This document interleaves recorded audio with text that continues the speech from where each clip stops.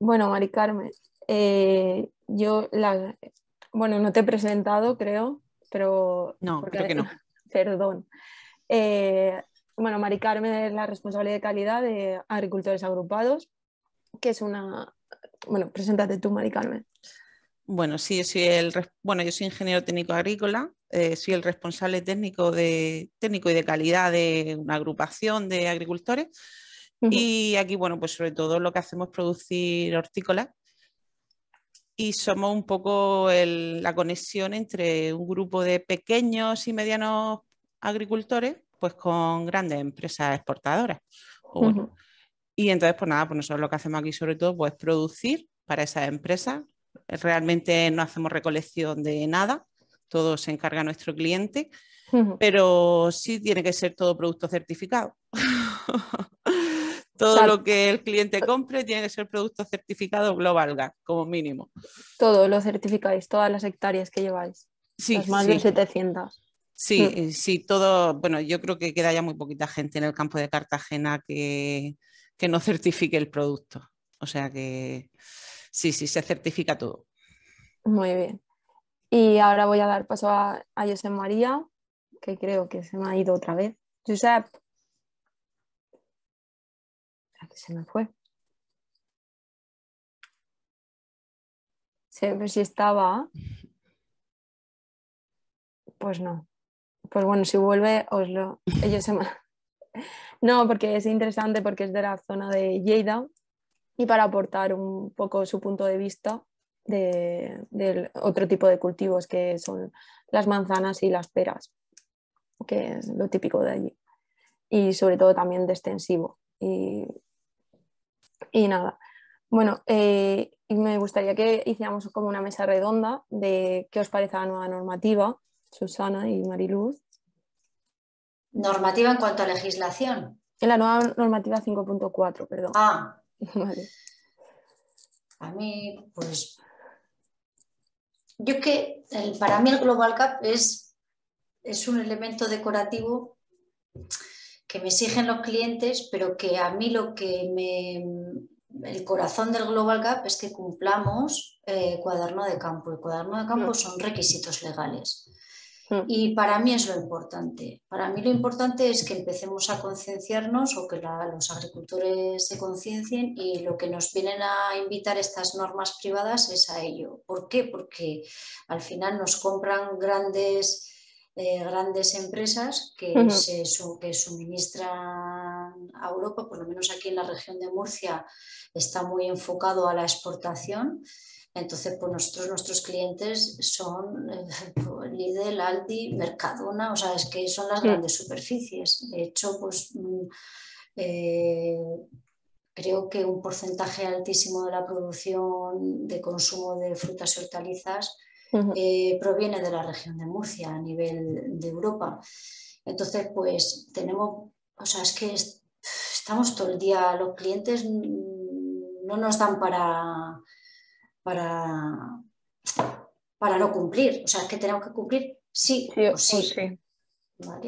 Esto, el boom que ha salido con el tema del mar menor, pues hombre, nosotros como técnicos, ingenieros técnicos, ingenieros agrónomos, es que cualquiera que quiera venir a cualquiera de nuestras explotaciones y vea cómo se gestionan las explotaciones en el campo de Cartagena y en otras zonas de la región de Murcia y comunidades limítrofes, pues yo creo que se sorprendería, se sorprendería porque yo creo que, no, no sé, Mari Carmen lo podrá comprobar que ha tenido inspecciones de consejería del Mar Menor, de clientes, de, Global Gap, de, pues yo creo que ya ha pasado por todas. Y al final, eh, la gestión que llevamos, yo creo que intentamos hacer como un, un cuaderno de campo, una documentación que dé cumplimiento a todos los frentes que nos puedan venir, porque hoy en mm. día es, que es, a lo que estamos expuestos, a que cada día se saquen una cosita más, un requisito más, ¿vale? Eh, y súper importante a las, al agricultor. O sea, te quiero decir, o a las empresas del sector, que esto lo tienen que pagar ellos.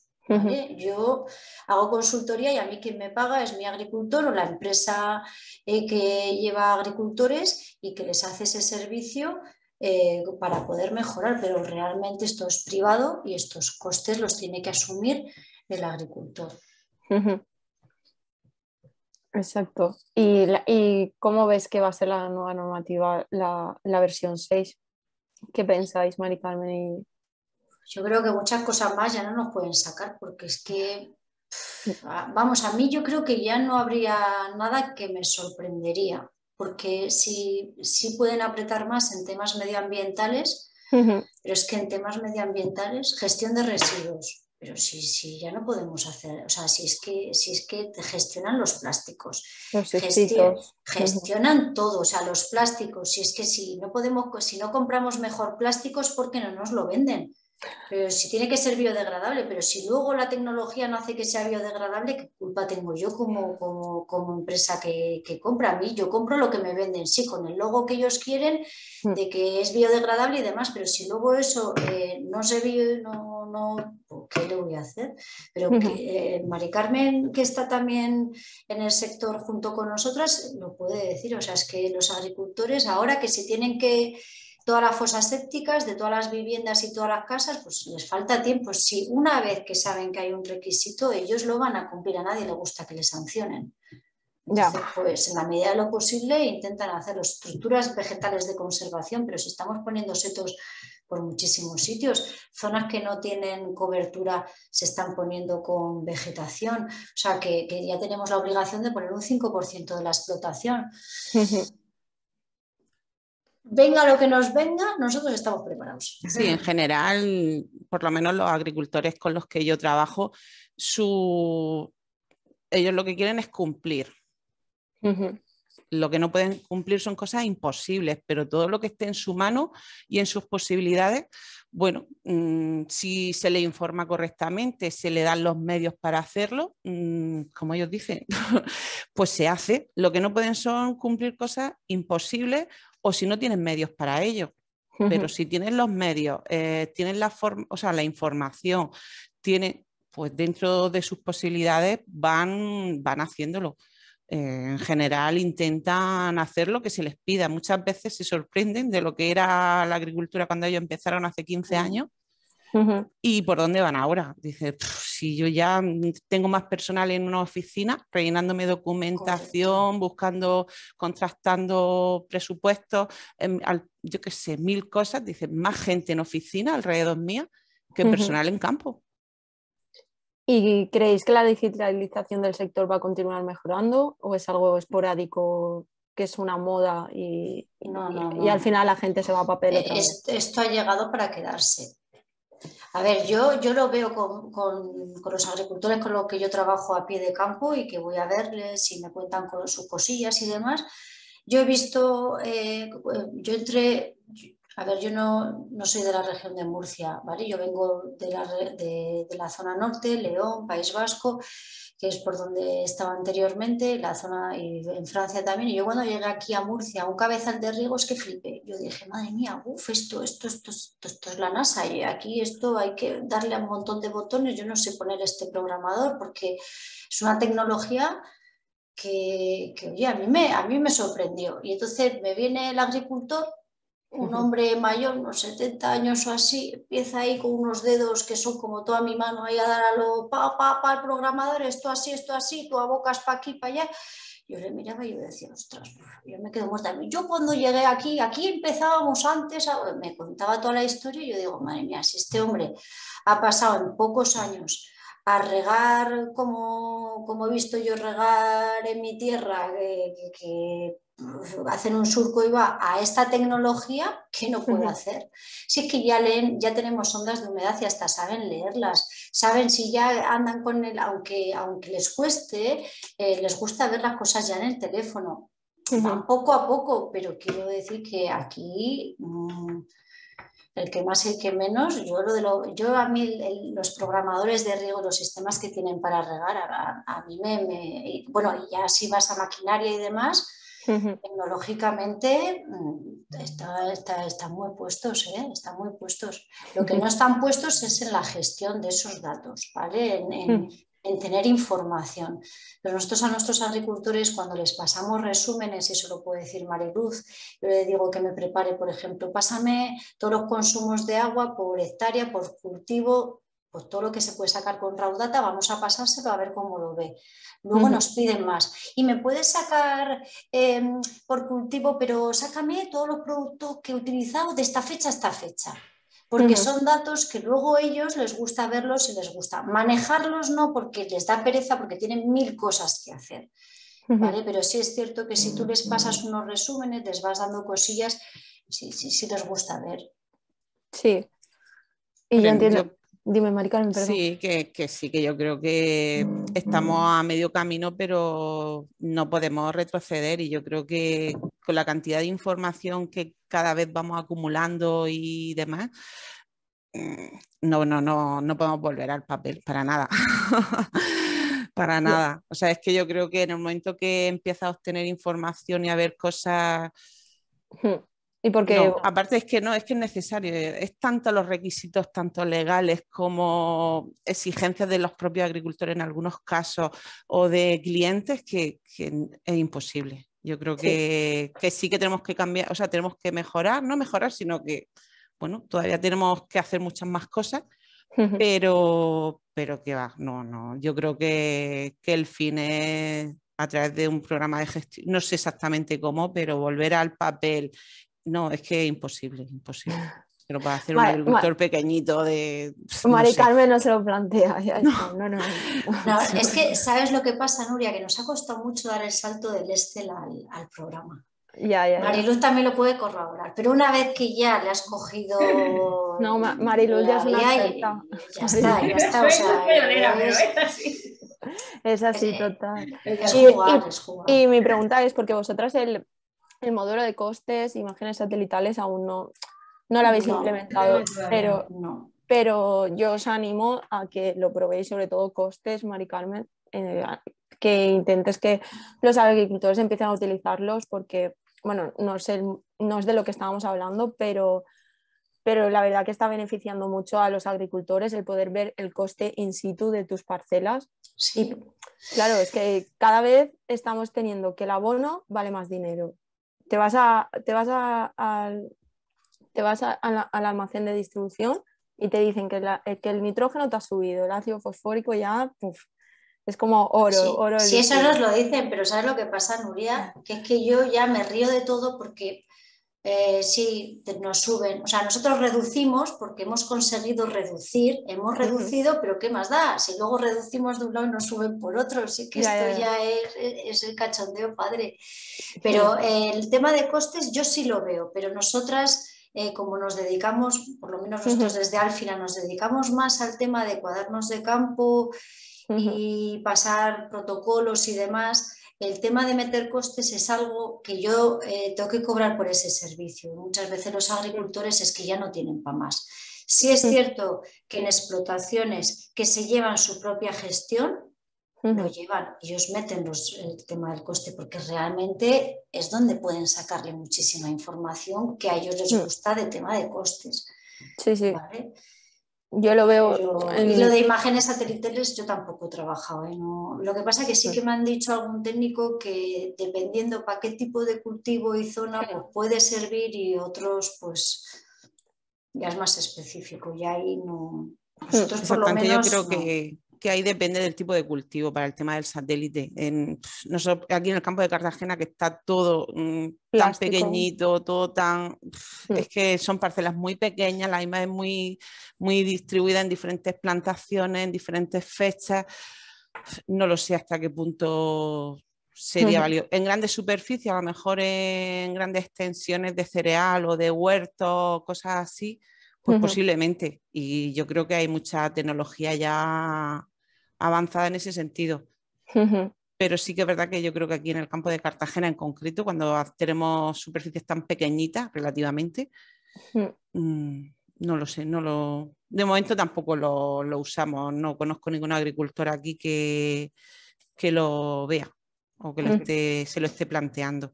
Y lo de los costes, pues el tema de que cuando es tu propia producción, pues, tú eres tú el productor, pues sí, si gestionas los registros y demás, pues sí. Pero claro, eh, a nivel, por ejemplo, en mi caso, que pueden ser entre 15 y 20 productores, pues ya te falta la vida. ya, no sabes ya de dónde sacar el tiempo. Entonces, pues te va a lo estrictamente necesario, que son pues, mm, pues productos, materias, cantidades y esa parte, pues mira, que la gestionen de otra forma porque sería pues mucho más personal dedicándose. Y en mi caso, por ejemplo, pues, pues no, ellos llevan su parte económica por un lado y la parte de producción es por otro. A nivel suyo personal, o sea, particular, pues ya no sé cómo lo gestionarán cada uno de ellos. Bueno, os animo a que, mm, sobre todo a ti, Mari Carmen, eh, en la móvil es muy fácil. Mira, José María, ¿me oyes? José María, estás muteado. No, es que estaría interesante que... José María, ¿nos oyes? Hola.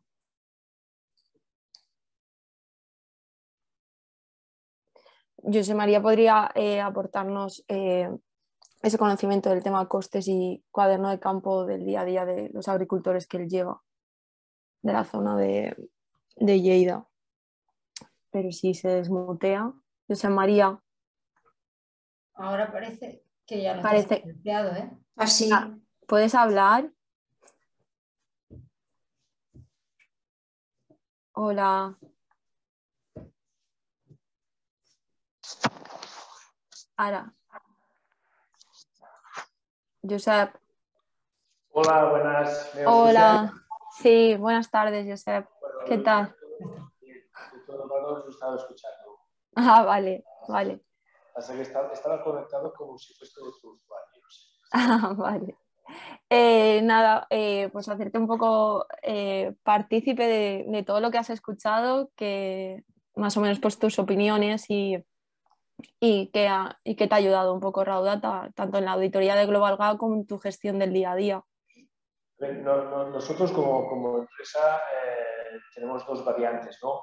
Lo que es la gestión que nos ha servido el cuaderno de campo para nuestra empresa cuando hacemos una global pues pasamos a global para nuestras eh, fincas propias, que nos ha facilitado es de que el cuaderno de campo esté mejor complementado, eh, no hay errores y tengamos un poco más la información más en sitio de lo que estamos haciendo dentro de, nuestra explotación. Esto lo eh, nos está funcionando eh, para que tengamos más facilidad en el momento de pasar a una local. luego, también, luego también están que a veces eh, cuando hacemos códigos de campo para nuestros agricultores, nuestros, nuestros clientes, que les gestionamos técnicamente alguna explotación y les, y les y, les, luego les, vamos haciendo el cuadro de campo con, con los tratamientos, pues claro, a ese agricultor se le ha facilitado un, un, servicio, que a lo mejor a él le, costaba un poco eh, lo que antes se comentaba, ¿no? que a veces el tema papeleo les cuesta un poco de entrar. y, con, con, la gestión que hemos estado haciendo con, los tratamientos y, y, anotando directamente poder en el campo, luego cuando han tenido que pasar a Global Gap, eh, han tenido pues toda esta información mucho más, mucho más ágil y más y, complementada mucho, mucho mejor, ¿no?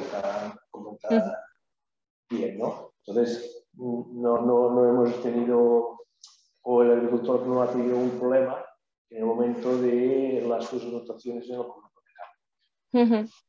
Entonces, son dos variantes. Vale, y tanto Susana como tú, es una pregunta un poco para los dos que tenéis clientes, ¿creéis que, con esta solución tecnológica podéis mejorar la fidelización de vuestros clientes? ayuda, ayuda.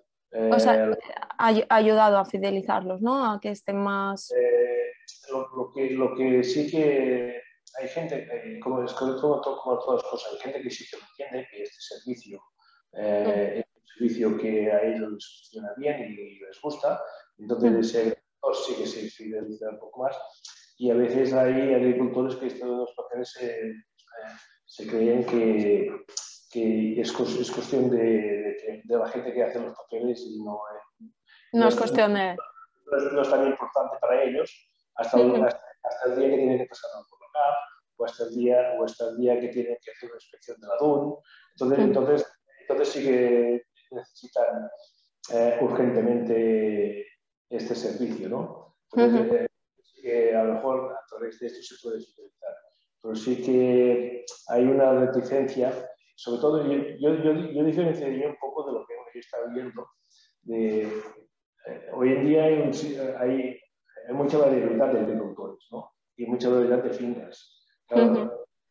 hay, hay, agricultores jóvenes que están dentro de la tecnología, que, que entran dentro de estos, de estos programas informáticos, que están haciendo todas sus anotaciones. Eh, hay agricultores que, pues, pues su edad, eh, eh, esto ya no quieren entrar y esto ya les va un poco grande. Y luego tenemos un nivel de explotación que, sobre todo en fruticultura, que ya tienen, sus servicios técnicos propios, que tienen gente preparada para que gestionen el, servicio técnico de sus explotaciones y luego también tiene gente preparada para gestionar el tema, todo lo que es el tema papeleos.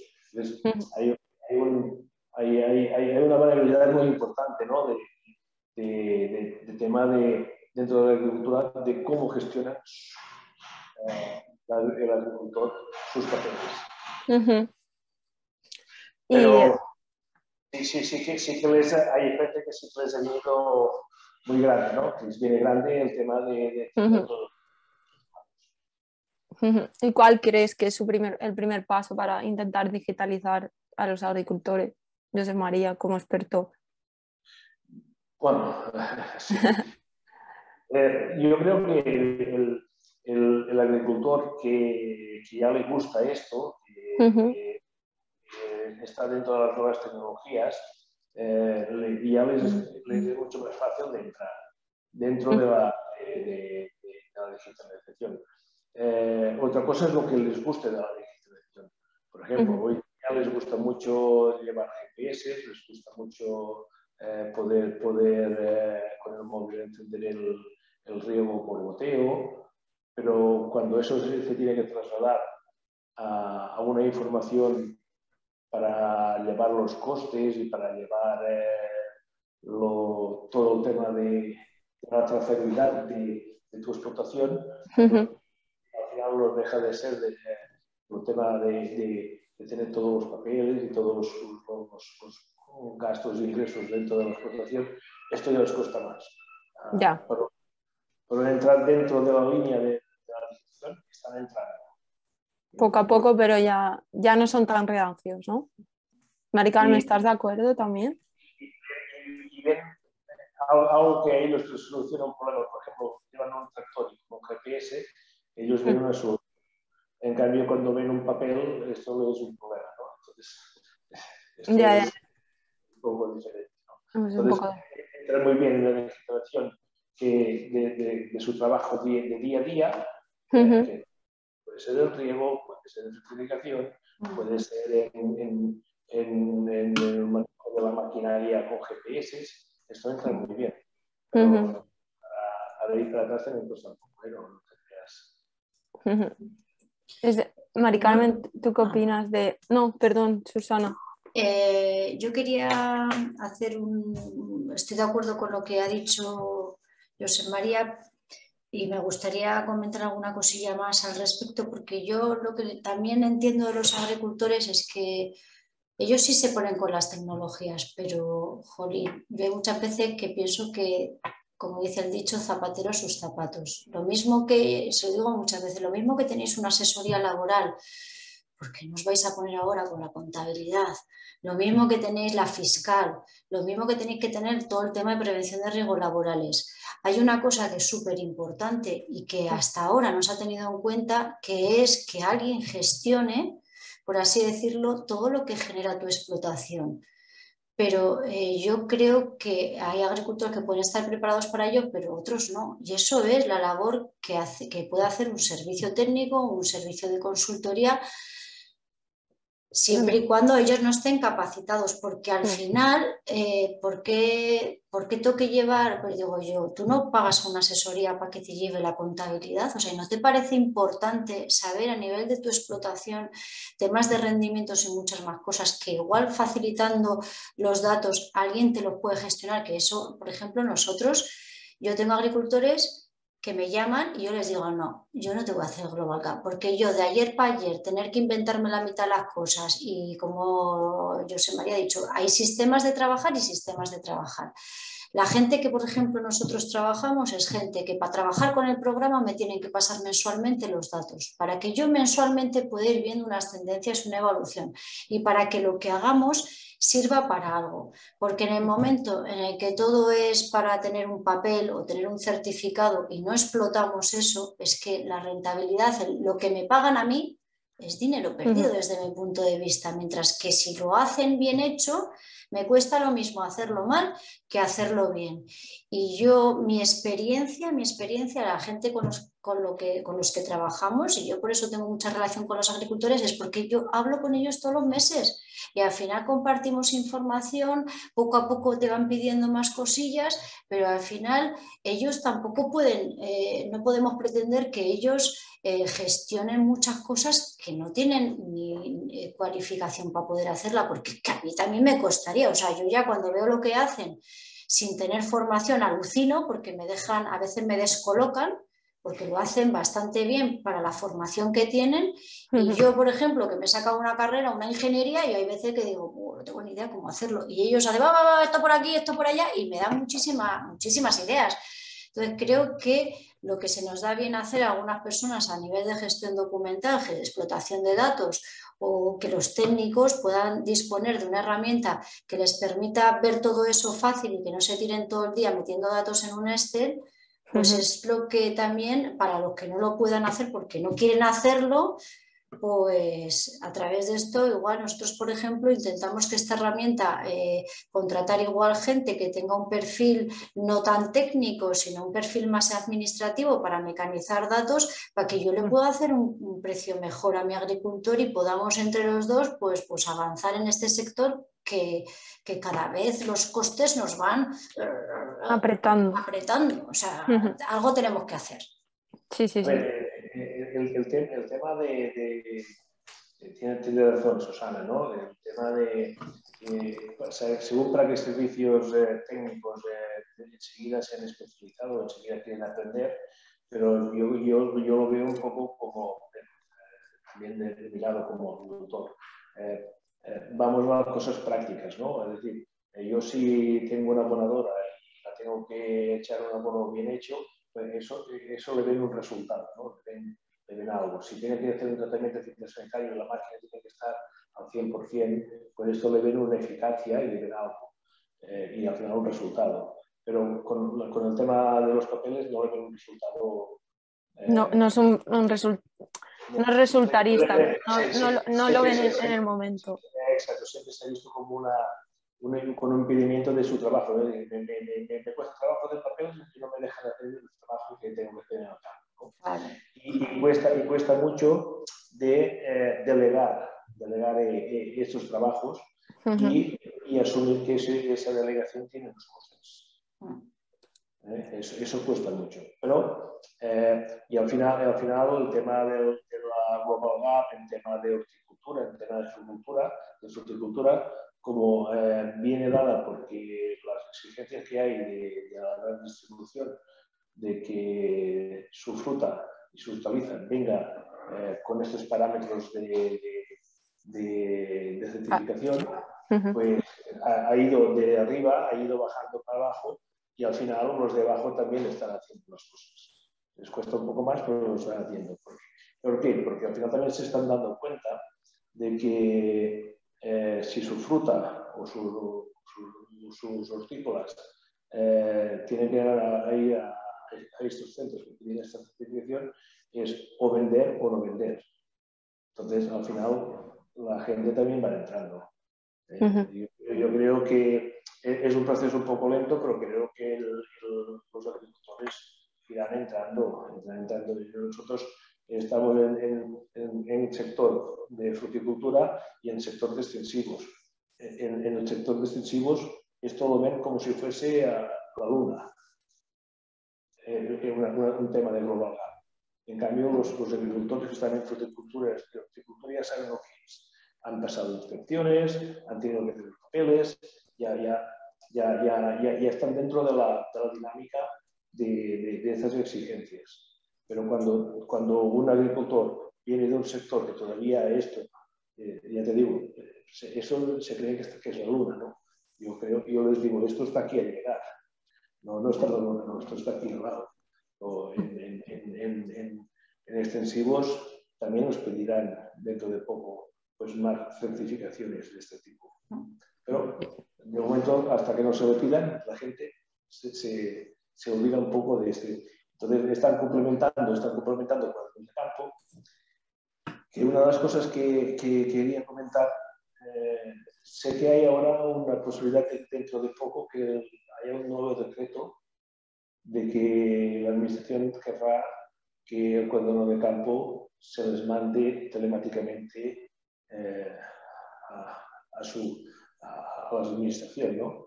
Entonces, eh, aprovechando esto con la data, no sé si habrá la posibilidad de estos cuadernos de campo también enviarse automáticamente porque claro, no, tenemos todavía claro si será...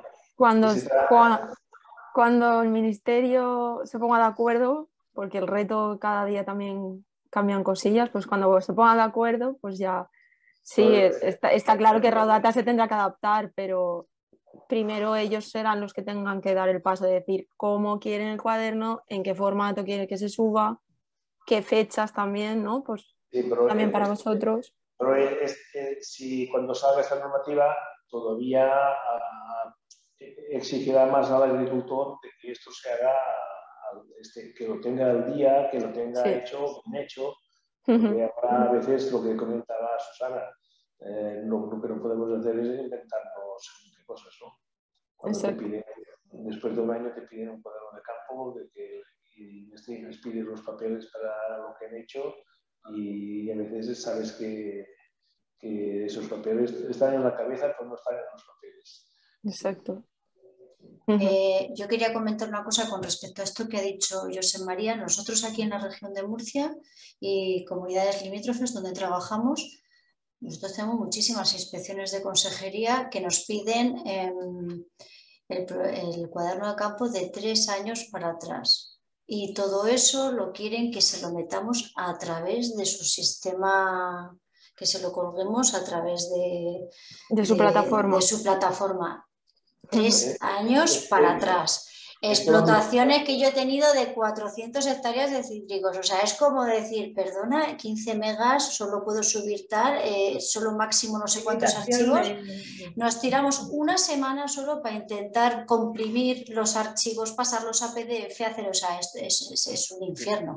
Pero claro, yo lo que digo es que el Global Cap el 80% del Global Gap es el cuaderno de campo, o sea que que extensivo, intensivo, eh, fruta, hortaliza, eh, Galicia, eh, Murcia, yo qué sé, cualquiera, es que tienen que, o sea, yo las inspecciones que sufrimos aquí es que son extrasporables a cualquier parte de España porque al final no quita que son requisitos que la gente que solicita el pago único, la PAC o los fondos operativos o lo que sea, también están sujetos a ellos, porque es una, es una legislación a nivel nacional, Real Decreto 1311. Ya está. Sí, sí, Aquí, el, el, el, y, luego lo que comentamos, que cuando habrá más exigencia de la misma administración, también habrá más exigencia a que el cuadro de campo y que el agricultor cumpla con las normativas.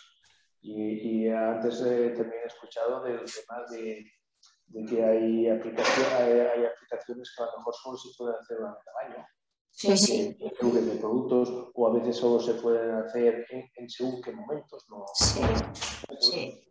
Y claro, eh, cuando el técnico te complementa o tiene que justificar ese cuaderno de campo con, con, el control, eh, tiene que tener una base importante con el tema de de, la informática que hay detrás para que eh, todas las cosas estén, bien analizadas. por ejemplo, antes habéis hablado del glifosato. Aquí, por ejemplo, en nuestra zona se utiliza mucho el glifosato después de la siembra, antes de que nazca el cultivo extensivo. Pero el autorizado está antes de la siembra, no después de la siembra.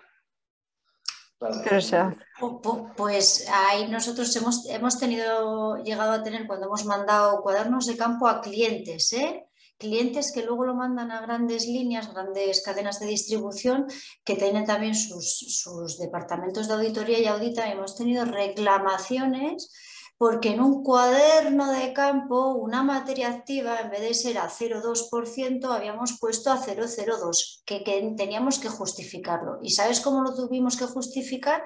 Mandaron a la entidad de certificación a volver a revisar ese expediente de ese productor que estaba certificado en Globocar para poder evidenciar que el técnico se había equivocado y, y había puesto un cerito de más. Porque si hubiera sido que es 0,2 en vez de 002 que hubiera echado más dosis, lo puedo entender, pero fue al revés, o sea, nos llevan achicharrados, o sea, es que son cosas que, te quedas como cuando te llegan, tienes una inspección anunciada de Global Cap y yo, uff, ¿qué habremos hecho? tal? Y de repente es por una mierda de estas, dices, no me lo puedo creer. Susana, aquí también tenemos otra, otro factor. Por ejemplo, ahora estamos hablando de las normativas que tenemos dentro de, de las limitaciones de una aplicación dentro de los productos que están registrados con sus dosis y sus aplicaciones. Pero luego tenemos las limitaciones que no sé esto cómo se puede llegar a, dentro de un programa informático, no, no, no, soy experto en esto, pero por ejemplo, en las cadenas de distribución, luego según qué materias activas te ponen sus limitaciones. Sí, correcto. Y entonces eh, es, es, lo que al final eh, tendríamos, tendríamos, que, que, poder eh, tener eh, en cada materia activa un, apartado para poderle poner un, unas limitaciones. Nosotros con Raw, sí. Nosotros lo que hacemos con, con, lo de Raw Data es que antes de mandar cualquier cosa se supervisa. Entonces, yo ya tengo aquí grabado en sangre los requisitos de clientes. Entonces, normalmente a través de los filtros y a través de eh, Nuria nos podrá decir lo nuevo que, que, los acumulados. el informe de No, en los informes, no, lo último, Mariluz, lo que hemos estado trabajando de los informes de materias activas. Sí, pero eso, son acumulados, vale. Se llama así, le ese nombre, informe de eso, eso, Nuria, viene a dar un poquito de solución a la hora de nosotros hacer filtros y poder comprobar que cumplimos con todo ese eso que está comentando eh, José María. Pero esto ya lo complementáis después. Yo, la idea sería de que... Que le avisara antes, poder hacer avisos antes. Cuando, tenemos que hacer la recomendación de tratamiento, eh, ya, ya, tuviésemos una advertencia sobre esa materia. Ah, es que nos... sí. eh, es que nosotros, nosotros no sabemos a quién vamos a vender hasta el último momento. No. Bueno, pero eh, eh, por ejemplo, en fruta, aquí hay, hay las, las, centrales que, que, que, pasan con Volga, ya para no tener limitaciones, dicen, ¿qué nos piden? ¿La, la más exigente? Pues ya cogen la más oh, pero no, uf, no todos están preparados para irse a las más exigentes. ¿eh? Cuando te limitan al número máximo de materias activas y porcentaje pues, del LMR. Como máximo, que, como máximo que dos o tres, eh, el momento de analizar solo quedan de dos a tres materias Sí, sí. Lo que pasa es que, eh, eh, José María, para que te des cuenta, y esto lo podrá decir mucho mejor Mari Carmen, aquí se trata semana sí y puede que semana también, porque hace muy buen clima, o sea, esto es un continuo de, de gestionar bien toda la explotación para que las plagas no se desmadren, o sea, yo también pensaba que no se, o sea, eh, es diferente. Aquí realmente con el clima que hay se necesita estar bastante encima del cultivo y hay veces que, no queda otra que, hacer tratamientos. Los frutales si hay frío limpia más. Sí, pero, al final, al final eh, si esa fruta o esa artícula se va a una central y hay una analítica y no está conforme con, con su analítica, eh, el, coste es muy elevado. Sí, pero nosotros, por ejemplo, sí, nosotros normalmente hay, hay empresas, clientes nuestros que analizamos todas las partidas recolectadas, todas. Se gasta una pasta en recolectar para saber dónde pueden meter la mercancía. Sí, es, es uh, depende de que depende de cada zona, depende de ah. cada cliente. Esto es. Pero, pero, estaría bien. Poder, señalizar, eh, tener unas restricciones sobre las activas eh, antes de hacer antes de hacerlo. Ya, eh, lo tenemos apuntado en sugerencias, eso María. Desde hace tiempo, ¿verdad? Y, y, bueno, como sabéis, Raudata Mm, vosotras, Mariluz y, y, Susana, va cambiando muy... Cada mes vamos cambiando y creo que mm, llegaremos a buen puerto. Y nada, y quería decir que, que muchísimas gracias por participar, tanto a Fila como agricultores agrupados y Agroperera. Y bueno, Susana, Mariluz, Mari Carmen y José María. Y, y nada, muchísimas gracias y si queréis decir algo más o si no, pues ya... Yo, ya para yo ya para despedirme, que mientras más seamos, más fuerza tendremos a la hora de hacer muchas más cosas, de, ver mejoras de unas zonas con respecto a otras, de cómo se puede ir evolucionando, por ejemplo, todo el tema de tendencias eh, que yo también lo comentamos a Raudata, ir pudiendo colgar muchas analíticas para que se vayan viendo tendencias de, de, de de nitratos por zonas, tal, y que este tipo de, de, sesiones que podamos hacer así, gente que estamos trabajando en el sector y que tendremos una problemática común que podemos ver diferentes cosillas, pues yo, vamos, me encantaría. Y animo a, a, los espectadores que si quieren probar Raudata tienen 15 días de prueba y, bueno, pues, eh, yo les puedo ayudar a, entenderla, que el servicio postventa no Susana, Mariluz y José María. Es continuo. ¿eh? Ahí estamos. Es continuo. Y atención personalizada. El servicio postventa de Raudata es... Bueno, bueno. Para, para, mí, uno, uno, mismo que ha comentado Susana, ¿no? y es mm. poder tener un foro que podamos compartir eh, inquietudes y poder ir mejorando en, el día a día de, estas situaciones. Mejora continua.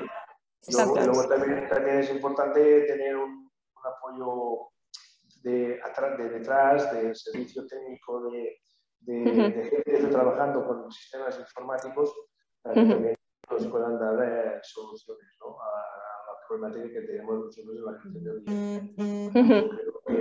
bueno, si todos trabajamos con el mismo rumbo, a, algo se alcanzará. ¿no? Pues sí, pues muchas, gracias. y vamos hablando.